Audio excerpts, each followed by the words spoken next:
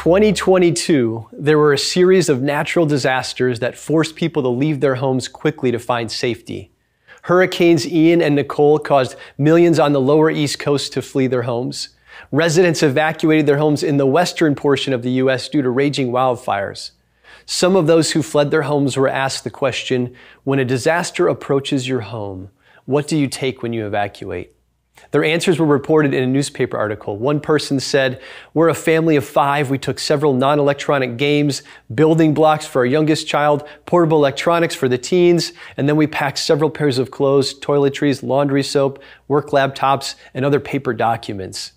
Another gave the following list. My husband and I took our five guinea pigs and two cats along with their cages and a litter box. We brought our medications, clothes, pillows, blankets, and some food and sodas. Reading about this caused me to think about a similar question in a different area of our lives. Our sons and daughters, our grandkids, the kids in the children's and youth ministries at our churches, they grow up faster than we expect. The days are long, but the years are short, I've heard it said. What do we want them to take with them when they leave our homes and our churches? If there are only a few things that stick with them as they leave their childhood and enter the world of adulthood, what are the most important things we want to send with them?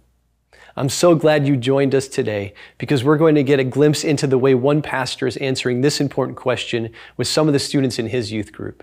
And then we're going to look at how we can answer this question with the kids in our lives.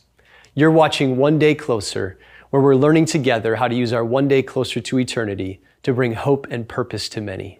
Let's go meet our guest for today.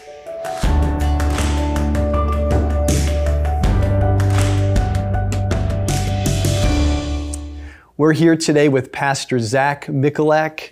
Zach, I'm so excited for you to be on the show for the topic we're talking about, but just personally, being able to serve with you as a pastor for so many years at Calvary and our friendship and brotherhood, I, I just appreciate you and your heart for the Lord. So thanks so much for being on the show. Thanks, it's great to be here. Uh, Zach, as we start, can you share just a little bit about yourself and your role at Calvary? Sure. Um, so uh, my name is Zach McAlack. I'm the student and teaching pastor at Calvary Baptist Church. Um, I'm married to my wife Leah, and we have three kids who are five, three, and a baby, which means we haven't slept in five years. yeah, right. Um, I hear you. Amen. But, but my, my role really is to oversee our student ministry, and I get to do about a third of the preaching for Sunday mornings and, and do a handful of kind of other miscellaneous things for the church. Uh, and I've been so blessed to lead um, Calvary's ministry to students as our, our primary goal really is to help students to integrate into the life of the church. Yeah, that's awesome. And I've, I've seen that happen in really exciting ways. Yeah. Uh, Zach, you love preaching. Mm-hmm. I know that. It's, I think, the focus of your doctorate, right? Yep. And, and uh, what is it that you love about preaching and, and, and your passion? Why are you passionate oh, about it? Um, I think in some ways preaching encompasses so much of what it of, of what it means to like follow Jesus. Like in order to preach, I have to begin prayerfully. I have to study the word. Mm-hmm. I have to think about the relevance for the word to my life as well as to other people's lives.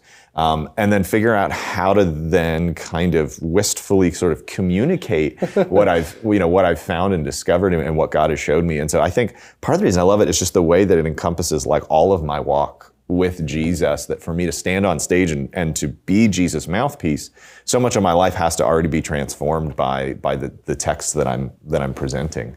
Um, and I think I just love the way that it has been such a catalyst for so many people um, in their their own discipleship that it, in some ways is kind of like the most efficient way to kind of disciple large groups of people uh, by directing them in the Word. So. Yeah, yeah. My oldest son still, uh, Paxton just mentioned the other day about he loves your object lessons. Yeah. So you're really, I think that's a creative creative thing that you bring into preaching. Um, that's awesome.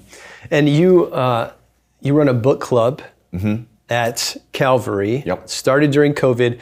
Uh, tell me a little bit about the book club yeah. that you have with the, with the yeah. teens. So the book club started um, when when everything shut down. You know, we went online and we were meeting on Zoom. And then when we got to that point over the summer of 2020, where we could meet in like little tiny groups, um, I had a group of teenagers who just were like, "Man, we miss being together. So let's get together." And so we would we would watch the sermon at home, come together at the church, and I remember we would we would drag a table out into the yard, and eight of us would sit around this table and just talk about the sermon. And then eventually we said, "Hey, what if we we, one of the kids I think was like, what if we did like a book club? We'll read a book and then we'll talk about it. And I was like, sure, that's fine.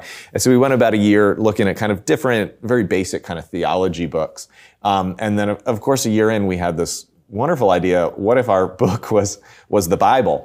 Um, hey. You know, and so kind of made this shift in, in, kind of mid 2021 to hey, let's keep doing this, but let's let's open up Scripture and just read it together and talk about it. And it created this very kind of mentorship style environment where we were able to really kind of say to the, or I was able to say to the teenagers who were there, like what do you want to know? What do you want to mm, study? Like yeah. what matters to you? And and so much I think of a mentorship relationship is driven by the mentee saying, here's where I need help. Yeah. And so it created this cool environment where the kids were suddenly saying to me, hey, this is what we want to learn. This is what we're interested in. Tell us about this. Um, and so that just created such a cool place then for the teens to be set up for okay how how do I guide you and they're just telling me this is what we this is what yeah. we want to do that's exciting. They have some ownership in it. Yes. And it's the things that are relevant to them. Mm-hmm. And I remember Sunday afternoons, right? You had the book club Sunday yep. afternoons. Yep. Uh, you know, this group of students that was excited to stay at church and yeah. hang out with each other. And, yeah. and it's, it's exciting that it started as this craving for relationship, yep. you know, that grew uh, more deeply, which I would expect it to if you're leading it into, you know, just deeper conversations and discussion with the students. Yeah. That's really exciting. We're going to take a quick break. Stay with us uh, as we come back. We're going to learn more about how the book club transformed into an opportunity for Zach to mentor these students in the things that he loves to do most.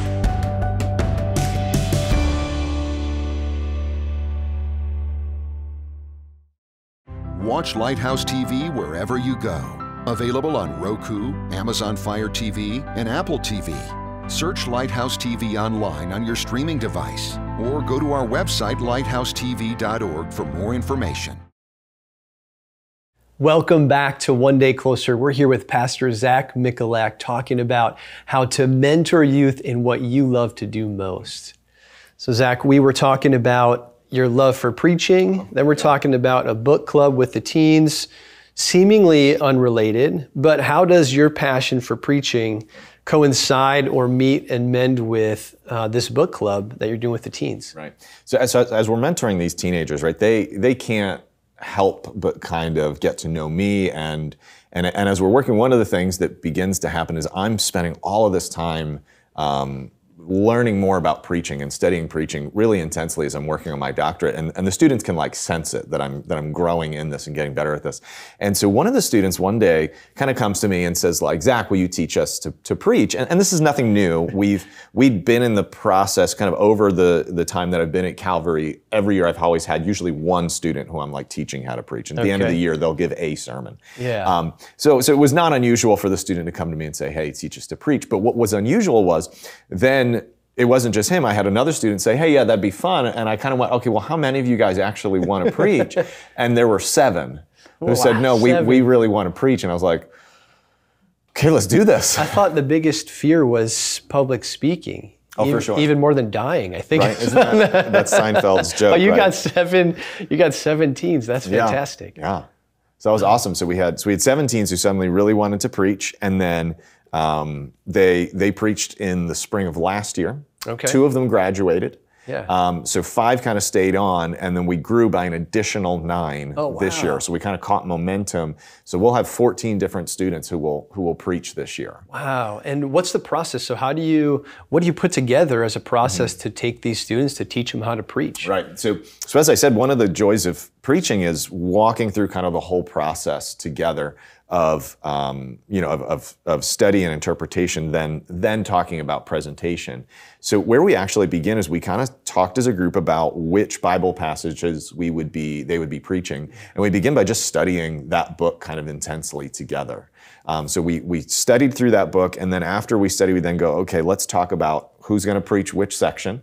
Um, and then there's a like a five week kind of very basic, I would refer to it as a crash course on kind of how to assemble a sermon mm-hmm. that I walk them through. And then we have this really cool kind of cohort style um, group where, where what they then do is as a whole group, all of them are working together to interpret the passage and to kind of form a basic outline so that when the individual preacher then goes to prep time, they've already got an interpretation, a main point, and a basic outline that they're kind of just adding some stuff to. Yeah. Um, and I love that approach because what ends up happening then is that all of the students in the group are getting multiple reps at sermon prep because they're all kind of part of this process Yeah. together.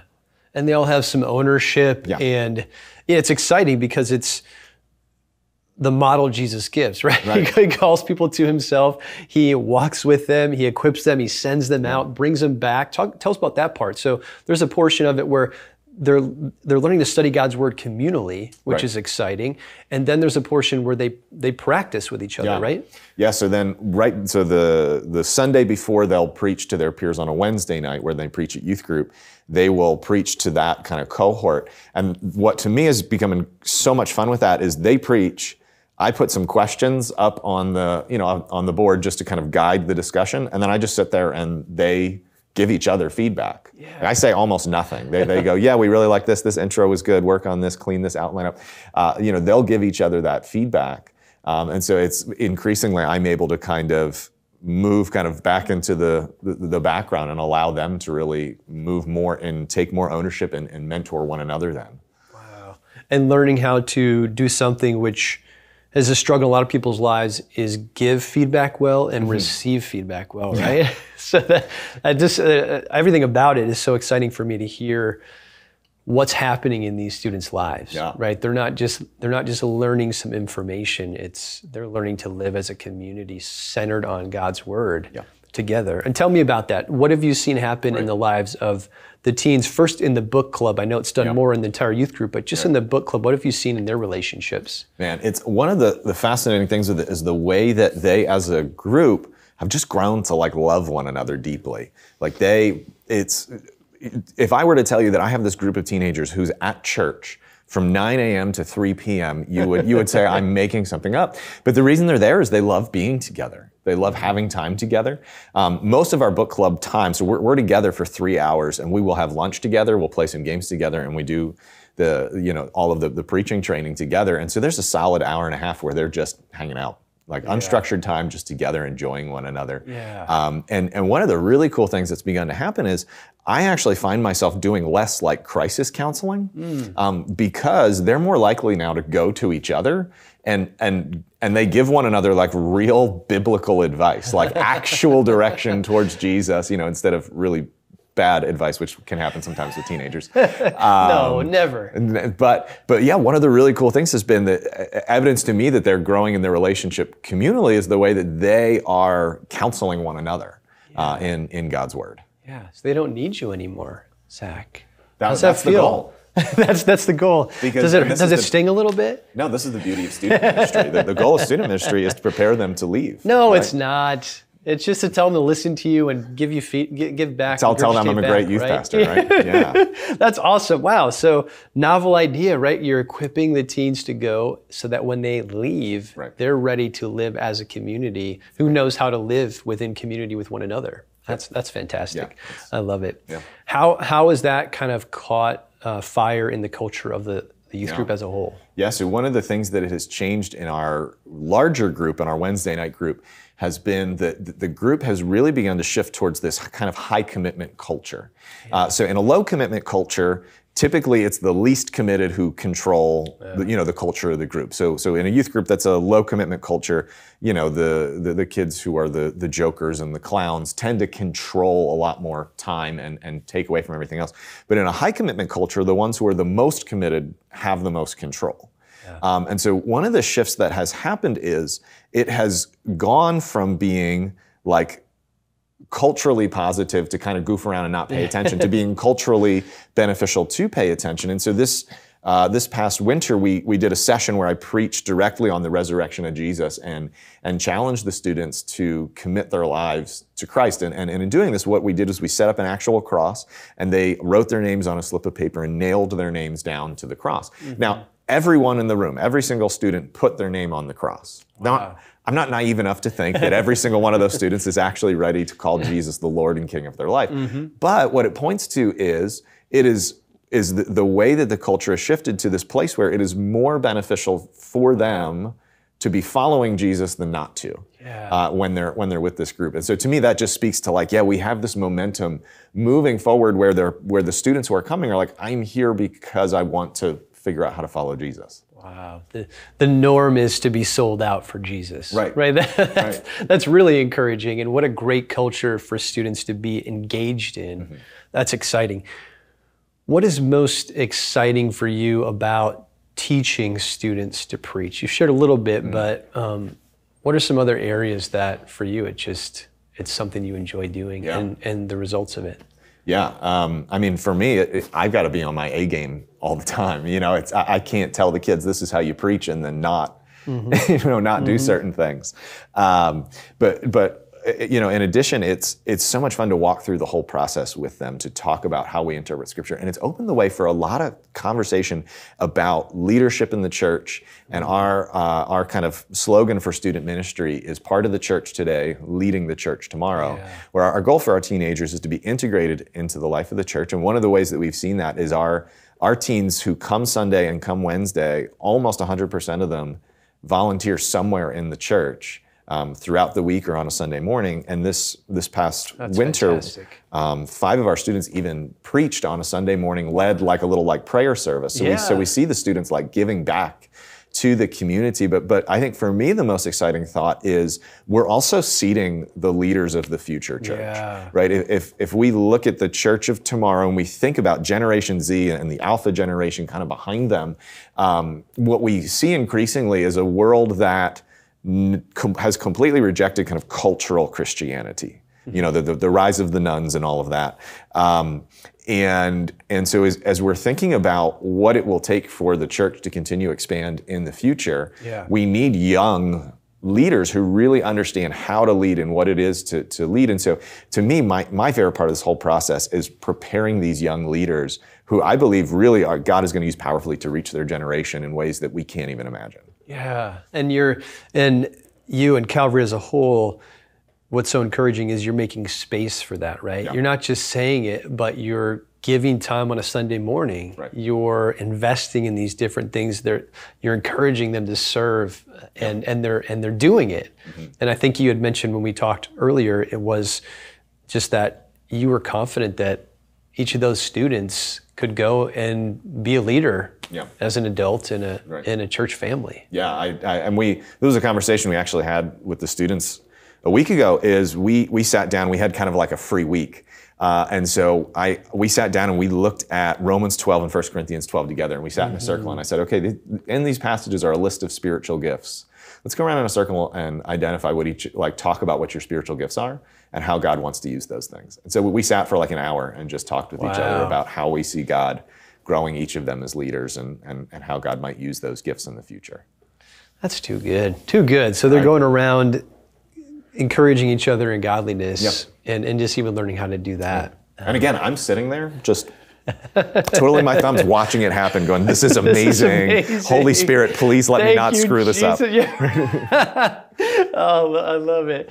I love it. Um, and even then, as you you had mentioned when we talked before the show, seeing um, seeing in you kind of a your love from teaching even transform into more of a equipping and discipleship. You know, so just even them be able to see that and and voice that in you. Right. That's awesome. Right. That's what we want to be, disciplers. Uh, what what is it about this group of students? Um, is there anything unique about them that seems to help make this work? Yeah. Um, I mean, this is one of the big pieces of student ministry is partnering with parents. And what to me makes this particular group of students different and unique is that they are all coming from homes that are deeply committed to Jesus.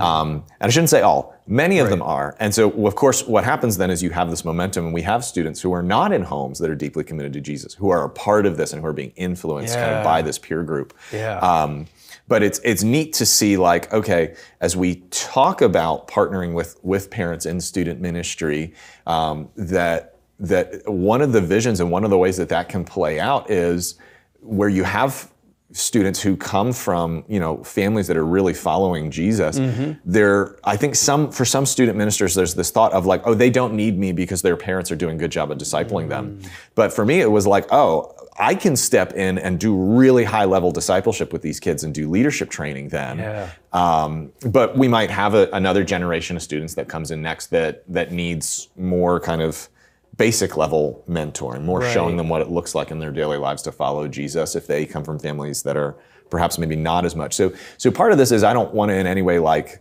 toot my own horn and be like I'm doing something amazing that no one's ever done as much as to say like I'm just trying not to get in the way of what the Holy Spirit's doing and I feel so blessed to be discipling these students Yeah. um, and, and to be able to walk with them in this way. And just doing what you love to do most and allowing them to catch a fire for that. Right.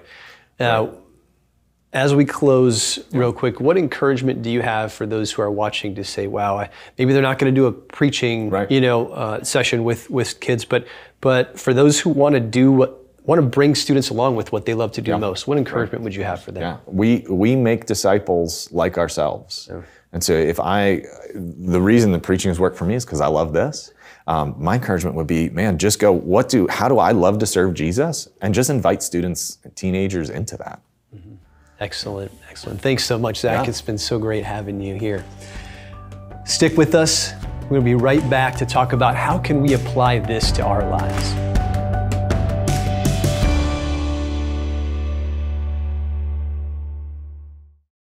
Watch Lighthouse TV wherever you go. Available on Roku, Amazon Fire TV, and Apple TV. Search Lighthouse TV online on your streaming device or go to our website lighthousetv.org for more information. I love what the Apostle Paul writes in Romans 12, 6 through 8. In His grace, God has given us different gifts for doing certain things well. So if God has given you the ability to prophesy, speak out with as much faith as God has given you. If your gift is serving others, serve them well. If you're a teacher, teach well. If your gift is to encourage others, do it. if it's giving, give generously. If you have leadership ability, take that responsibility seriously. And if you have a gift for showing kindness, do it gladly. How has God gifted and created you? What do you love to do most for Jesus? Go and do that for Him, but don't do it alone. Remember that we're called to disciple, to lead, to mentor, to teach the youth in our lives. We're called to invite them to see how meaningful and exciting it is to serve Jesus with the gifts and passions He's given us. Here are some steps that you can take today so that you can begin doing this with the kids in your life tomorrow. You're going to pray, obey, and give them a say. All right? First, you're going to pray. Ask God to help you answer these three questions Father, what do I love to do most for Jesus? Father, what is one way that I can invite one young person in my life to join me to do what I love to do most for Jesus? And God, what young person do you want me to invite to do this with me? First, you're going to pray. Second, you're going to obey.